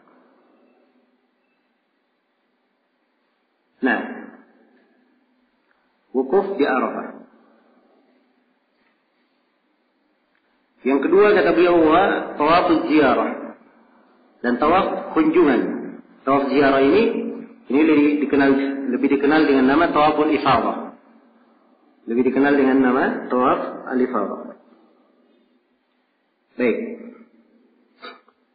Beliau hanya menyebutkan dua. Di mana para ulama yang lain menyebutkan empat. Di rukun haji. Ya, saya lengkapi saja empat supaya semuanya menjadi terang. Dan mungkin penulis di sini tidak menyebutkan karena sudah dimaklumi dua yang lainnya. Yang pertama ini kan sedang haji, dia dalam keadaan ihram. Karena itu rukun haji adalah al-ihram. Rukun yang pertama ihram. Yang dimaksud dengan ihram adalah niat dukhul fil haji. Niat dia masuk dalam ibadah haji. Ya. Ini harus dibedakan ya. Di sini ada dua hal. Kadang seorang penuntut ilmu samar membedakannya. Ya. Dia tidak bisa bedakan antara niat ihram, niat masuk ke dalam haji dan ihram dari miqat. Ihram dari miqat. Kalau dia ihram dari miqat, itu hukumnya wajib ihram dari miqat. Jelas ya? ya? Karena itu siapa yang ihram tidak di miqat, dia di Jeddah misalnya, dari Indonesia, dia tidak pakai pakaian ihram. Begitu sampai di Jeddah, dia tidak lewat miqat, langsung ihram di Jeddah. Maka ini dia sudah baca ihramnya, ini rukun ihram ini. Ihram dari miqatnya yang dia tinggal, hajinya syah. Jelas ya hajinya syah. Tapi kalau dia tidak ihram bermakna ihram niat masuk ke dalam nusuk, ini tidak syah hajinya. Sebab dia meninggalkan apa? Meninggalkan rukun. Jadi ihram adalah niat masuk ke dalam apa? Ihram. Ini merupakan rukun. Iya. Merupakan rukun. Dan dia adalah rukun karena Rasulullah SAW bersabda inna a'malu binniat wa innamal likulli imri'in ma nawa. Ya. Dan Allah Subhanahu wa taala berfirman al-hajju ashhurun ma'lumat faman farada fihi al-hajj fala rafatha wala wa wala jidala fil hajj. Haji itu adalah bulan-bulan yang dimaklumi Siapa yang wajib padanya haji, tidak boleh ada rafat. Hubungan suami istri tidak boleh ada kefasikan dia lakukan. Tidak boleh pula berdebat. Maksudnya dengan debat yang batil. Yang tidak baik di musim haji. Nah, ini rukun yang pertama. Rukun yang kedua adalah wukuf di Arafah. Ini disebut oleh penulis di sini ya. Wukuf di Arafah. Baik. Wukuf di Arafah dia rukun haji. Karena Rasulullah SAW bersabda al-hajju Arafah. Haji itu adalah apa? Haji itu adalah wukuf di Arafah. Iya. Dia adalah inti dari haji.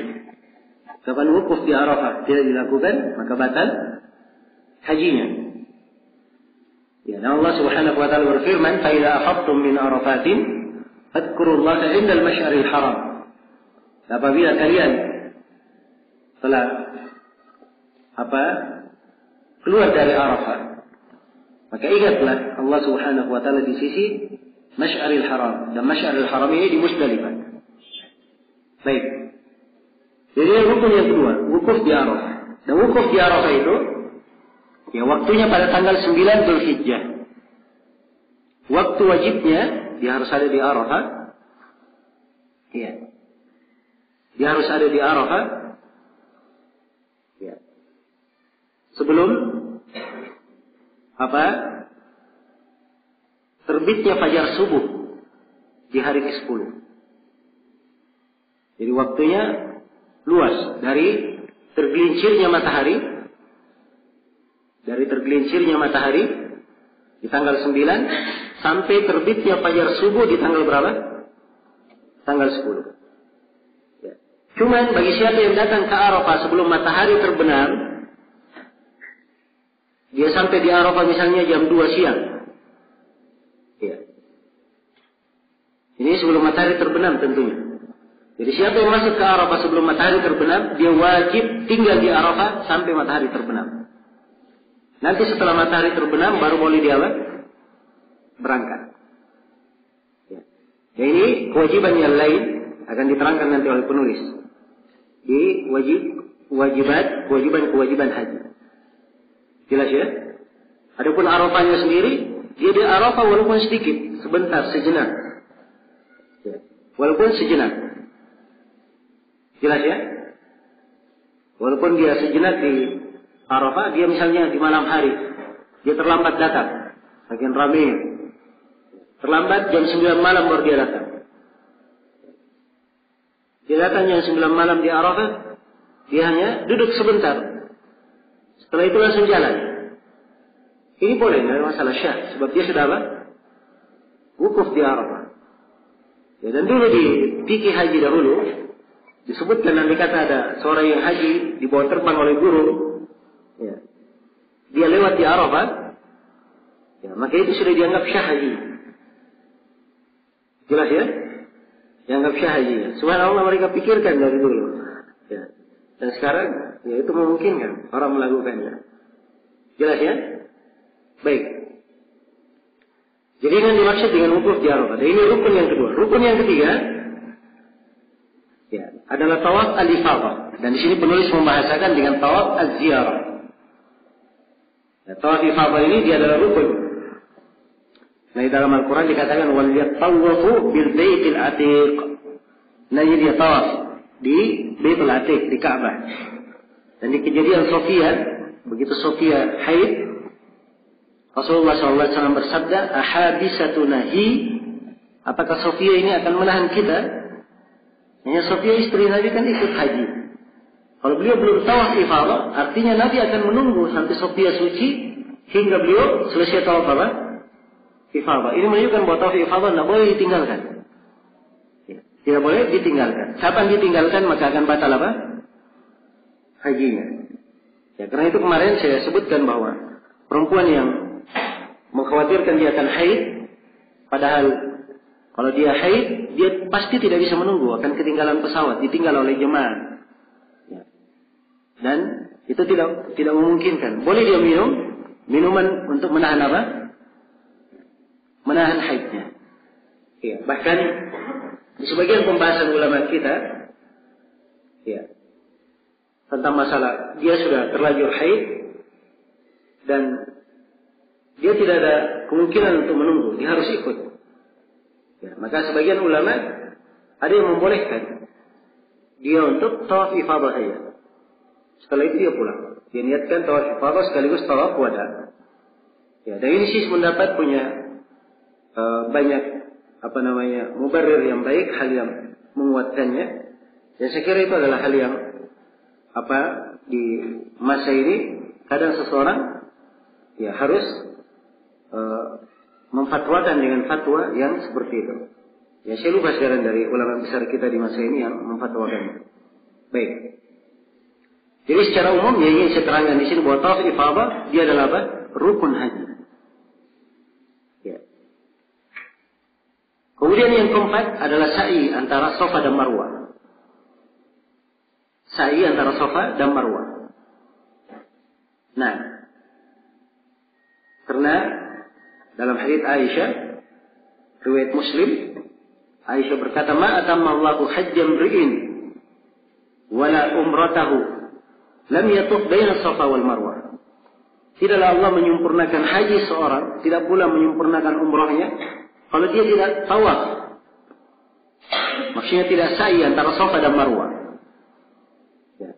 Maka rukun yang keempat dia sa'i di mana? Di Safa dan di Marwah. Ini empat rukun. Dan penulis tidak menyebut di sini.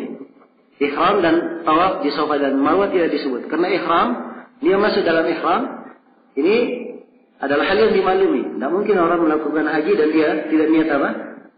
Ihram. Ya, dan dia tidak sebut sa'i, karena biasanya kalau sudah disebut tawaf, ikut juga apa? Sa'inya. Ya, tapi kalau ingin detailnya, begitu tadi detailnya. Empat. Rukun haji ada berapa?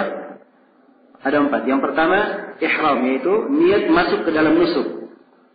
Kemudian rukun yang kedua, wukuf di Arafah. Rukun yang ketiga? Tawaf ifadah dan rukun yang keempat sa'i antara Safa dan Marwah. Baik. Kemudian kata beliau, wajibatuhu sab'ah. Sekarang kewajiban-kewajibannya. Kewajiban ihram ada tujuh disebut oleh penulis di sini.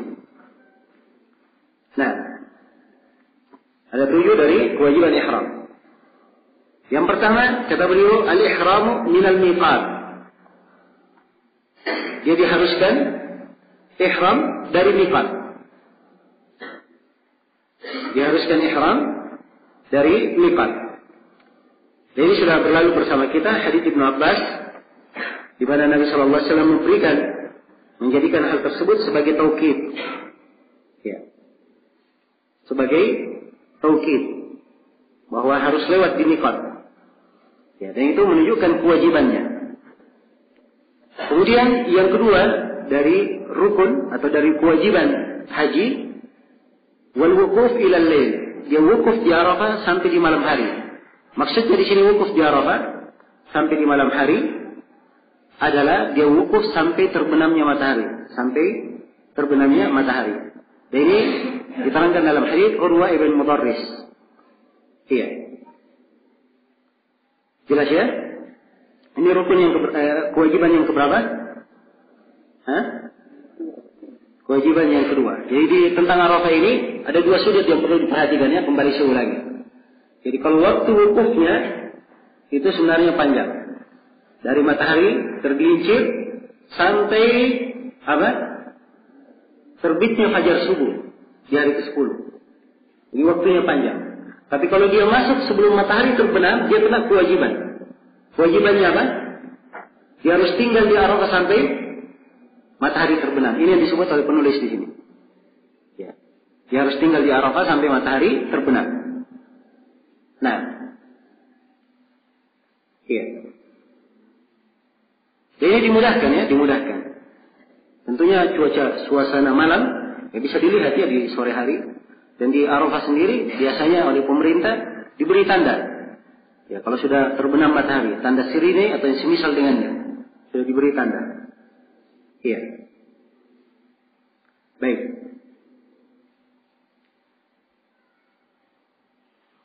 Kemudian yang ketiga dari kewajiban wal mabitu di Musdalifah. Bermalam di Musdalifah. Iya. Bermalam di Musdalifah. Dan bermalam di Musdalifah ini ini dari kewajiban sebab Nabi Shallallahu Alaihi Wasallam ya, menekankan tentang makna ini. Ya, dan ini juga di antara hal yang diterangkan dalam hadis Urwa ibn Mubarris. Nah, bahkan Syekh Al Albani rahimahullah beliau punya pendapat bahwa bermalam di Musdalifah itu hukumnya rukun dari rukun haji. Sebenarnya Syekh Al Albani ya, walaupun kebanyakan ulama tidak berpendapat seperti itu. Dan insya Allah pendapat kebanyakan ulama lebih tepat. Ya, bahwa apa? Dia bukan rukun, tapi masuk di kewajiban. Masuk di kewajiban haji. Kemudian yang keempat, wal mabitu bimina. Yang keempat dia bermalam di Mina. Ya, maksudnya dia bermalam di Mina di hari-hari tasyrik. Tanggal 11, 12 dan 13 dia wajib bermalam di situ.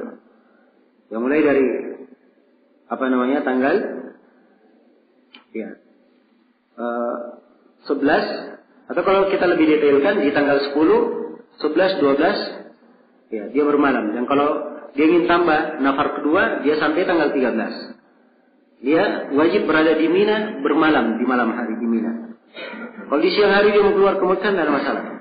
Tapi di malam hari dia harus bermalam di mana? Dia harus bermalam di Mina. Iya. Ini termasuk kesalahan orang yang apa namanya haji. Ada yang dia bermalamnya tidak di Mina, tapi dia bermalam di Aziziyah.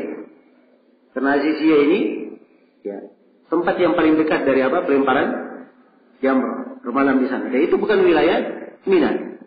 Ya, karena itu tidak dibenarkan bermalam di situ. Baik wal mabit di Mina. Ini kewajibannya dan dia mabit di Mina. Ya, kecuali kalau misalnya di Mina dia ada kegiatan, ya, apa harus dia berada di Mekah, seperti Al Abbas bin Abdul Muttalib di musim haji, beliau memberi minum orang-orang jemaah haji, maka beliau tidak bisa bermalam di Mina, Nabi memberikan udur. Ya, dan sama seperti sekarang ini, ada sebagian dari orang-orang di jemaah haji, di musim haji, ditugaskan khusus untuk berada, berada di wilayah Mekah. Apakah dia pembimbing, pembina, atau dia uh, seorang yang punya tanggung jawab berkaitan dengan apa? Mekah. Maka dia ada udur, tidak ada masalah dia tidak bermalam di Mina. Baik. Kemudian yang kelima dari kewajiban ar-ramyu melempar. Dan yang dimaksud dengan melempar di sini dua, melempar jamratul aqabah ya. dan melempar jamrah tiga jamrah pada hari-hari tasyrik. Melempar tiga jamrah pada hari-hari tasyrik. Ya. Jamrah itu ada tiga. Kalau kita datang dari Musdalifah menuju kepada pelemparan jamrah, kita akan temukan tiga tiang pelemparan. Ya. Yang pelemparan pertama itu disebut dengan jamrah sugro. Sugro. Pelemparan yang kedua itu disebut wusta. Dan yang terakhir itu disebut jamrah al-aqabah. Jelas ya? Itu yang paling terakhir. Yang paling terakhir ini, ini yang dekat ke wilayah Mekah. Sebab setelahnya, kalau kita sudah keluar dari jamrah aqabah, ya sisa belok kiri itu sudah terus keterongan mengantar ke mana? Ke Ka'bah. Iya. Dan jamrah sugura ini dia jamrah yang paling dekat. Dia dobitnya jamrah sugura ini nanti yang paling dekat ke arah masjid. Masjid Al Khair, paling dekat. Iya. Baik. Di tanggal 10 yang dilempar jamrahnya cuma satu. Hanya jamrah apa yang dilempar? Jamratul Aqabah saja di ujung terakhir itu saja yang dilempar. Ya dalam pemerintah sekarang dia lebih banyak pengalamannya dari sebelumnya. Sebab saya waktu di musim haji tahun 98 itu apa tiga jam ini dibuka semuanya. Nah, jadi banyak orang nggak tahu tiga-tiganya dilempar pada tanggal 10. Padahal yang dilempar cuma apa? Yang di ujung saja. Ya. Namun uh, tahun ke apa namanya saya masuk lagi di tahun 2004 ya, oleh pemerintah Ya, dan kelihatan sudah dilakukan di tahun-tahun sebelumnya. Di jamrah pertama dan kedua ini ditutup dengan tali. Supaya diketahui bahwa ini tidak untuk dilempar pada tanggal 10. Nanti dari tanggal 11 baru dibuka. Jadi tentunya memudahkan. Sebab banyak orang-orang haji dimaklumi ya. Ada orang-orang haji bekalnya yang penting haji saja, tidak pernah belajar. Yang penting saya sudah pernah ke tanah suci. Apa yang dia lakukan benar atau tidak benar itu bukan urusan saya. Dan ini adalah kasihannya dari sebagian jemaah ini. Nah, dan biasanya yang seperti ini yang repot. Ya, sebab dia akan ikut-ikutan saja. Lihat orang melakukan ini, dia ikut juga. Ya. Beda dengan orang yang belajar, dia tahu yang benar apa, yang harus dilakukan apa. Ya. Apalagi di musim haji. Kalau banyak kesalahan-kesalahan. Nah, di pelemparan jamroh misalnya, setelah biasanya setelah melempar itu ramai orang lempar juga sendalnya. Sendal dilempar juga. Karena keyakinan mereka melempar jamrah itu melempar syaitan. Ya. Jadi memang posisinya datang seakan-akan marah sekali mau melempar syaitan. Ya. Dan menjadi korban jemaah haji yang lainnya. Ya. Kenapa? Sebab batu itu dilempar kencang sekali. Ya, melempar syaitan harus keras-keras. Ya, tidak kena, tidak kena tiangnya kena di sebelah tapi sekarang sudah lebih mending ya sebab e, bentuk tiangnya diperpanjang. Jadi kalau melempar dari arah e, dari satu arah tidak akan tembus ke sana. Ya, kalau dari 98 tiangnya masih masih segi empat begini. Ya, sampai sebagian ustadz ada yang apa namanya kerikil menempel di e, di dahinya. Nanti dia tahu ada kerikil menempel dahinya setelah melempar. Ya, dasar orang lempar keras. Setelah itu lepas buah sendalnya, rame-rame lempar. ya, dan ini termasuk kekeliruan ya. Ya, karena itu harus punya fikih yang bagus. Ya. Jadi ini di tanggal 10 yang dilempar cuma jam berapa? Ala aqabah. Nanti di tanggal 11, 12, 13, nah ini semua jamrah dilempar. Ya. Semua jamrah dilempar. Melempar ini hukumnya semuanya adalah apa? Hukumnya adalah wajib. Ya, hukumnya adalah wajib. Baik. Selesai. Kemudian yang ke enam, kata beliau wal hilaf dan mencukur. Ya. Mencukur di sini menggundul dan boleh juga dipendekkan. Boleh dipendekkan ini bagi laki-laki. Kalau bagi perempuan itu hanya dipendekkan saja. Hanya dipendekkan. Bagi perempuan. Ya, kalau laki-laki, afdalnya dia gundul. Karena Nabi SAW mendoakan orang yang gundul itu tiga kali. Allahumma arham al-muhallakin. Ya Allah rahmatilah orang-orang yang gundul. Tiga kali. Setiap kali Nabi mendoakan, ya, ada sahabat yang berkata, Ya Rasulullah wal muqassirin. Ya Rasulullah doakan juga orang yang memendekkan. Tapi Nabi tidak mendoakan. Nanti yang di kali keempatnya baru beliau berkata wal muqassirin. Ini menunjukkan bahwa gundul lebih bagus daripada apa? Daripada memendekkan. Iya. Dan bagi perempuan, dia hanya memotong di ujung rambutnya saja. Di ujung rambutnya. Boleh dia bagi rambutnya menjadi tiga kepang. Kemudian diambil apa sepanjang ujung kuku. Ya, sepanjang, sepanjang ruas jari pertama. Ya, diambil. Sekadar anmilah. Baik. Ini bagi perempuan. Dan cukur ini hukumnya wajib. Kemudian yang ketujuh. Yang ketujuh adalah tawaf wada. Tawaful wada. Ya, dalam tawaf wada ini, ini adalah kewajiban. Ya.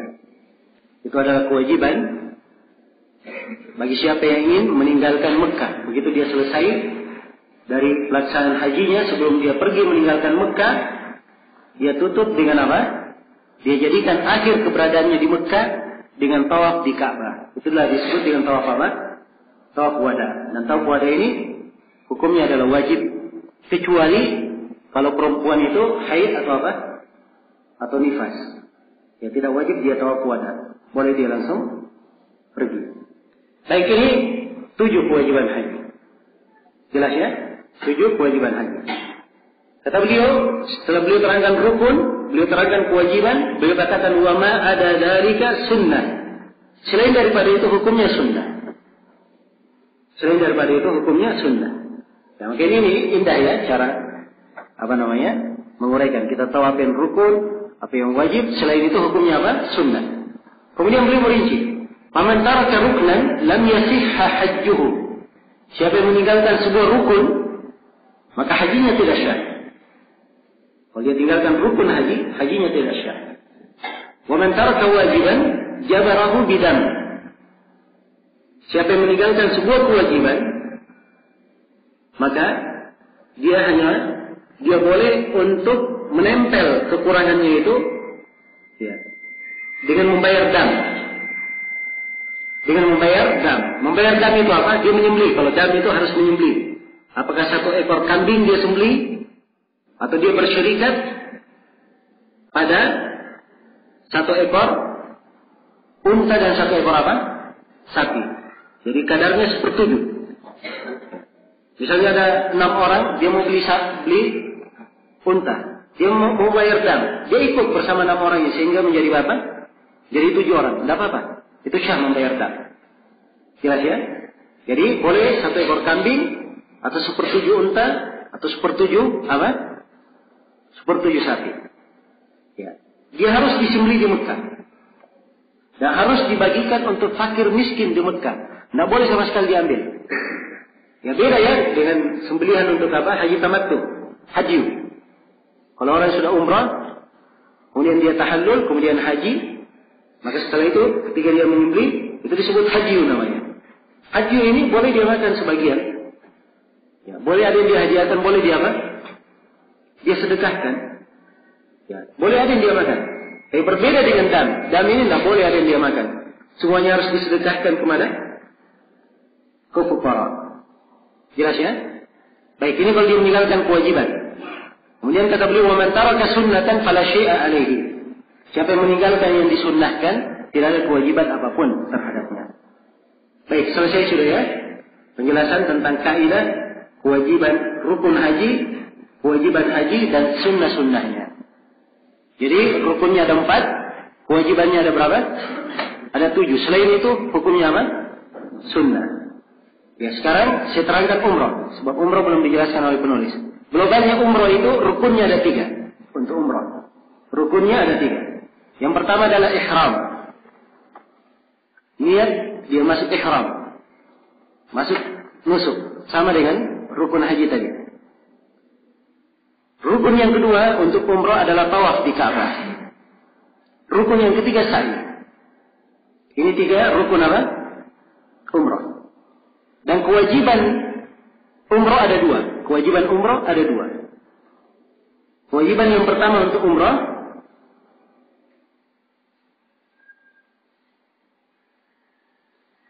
Kewajiban yang pertama untuk umrah, dia ikhram dari tempat halal.